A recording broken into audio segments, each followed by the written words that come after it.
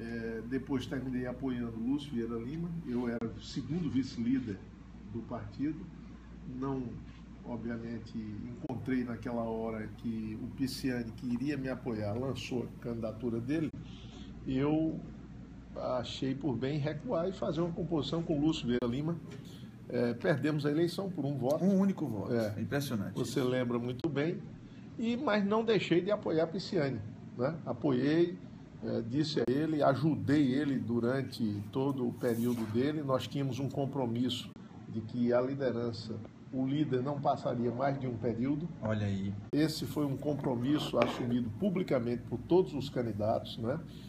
E esse compromisso ainda está valendo, pelo menos para mim, né? Por isso é que eu, não apenas por isso, mas por ser um jovem competente, é, correto com seus companheiros e nosso conterrâneo paraibano, claro. eu declarei já o meu voto em Hugo Mota, que é o parlamentar do, da nossa bancada paraibana, eu não poderia deixar de apoiá-lo.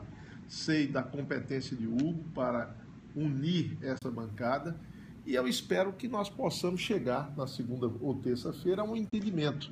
Eu vou fazer esses apelos não só a Pisciane, mas aos outros companheiros. Eu tenho uma legião de colegas que é, me escutam, que me apoiam, né? e eu tenho sempre uma relação muito boa com todas as alas da bancada. Né? É verdade, eu quero até lembrar o nosso telespectador que foi justamente por conta desse relacionamento é, interestadual que o deputado Manuel Júnior goza dentro da bancada do PMDB, que o nome dele foi lembrado, ventilado para ocupar o Ministério da Saúde ainda é, no ano passado é, com o do deputado Marcelo do Piauí. Mas foram os colegas da bancada, os deputados federais do PNDB, que haviam lembrado e indicado o nome do deputado Manuel Júnior para o Ministério da Saúde.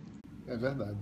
Eu fiquei muito honrado, né? foi um momento extremamente honroso para mim ser lembrado entre três nomes de uma bancada de 67 para justamente ocupar é, o Ministério da Saúde. Graças a meu bom Deus, me parece que foi a mão divina que me, que me, não, me fez não, não ser alçado, ungido a essa condição, porque o Ministério da Saúde passa por um momento muito complicado. Meu amigo Marcelo Castro, que é o atual ministro, é um conterrâneo, porque é nordestino, né? Nós somos todos conterrâneos Sim. nordestinos do Piauí e está lá sofrendo muito com esse muito, mosquito. Muito. Não, não é só com mosquito, não.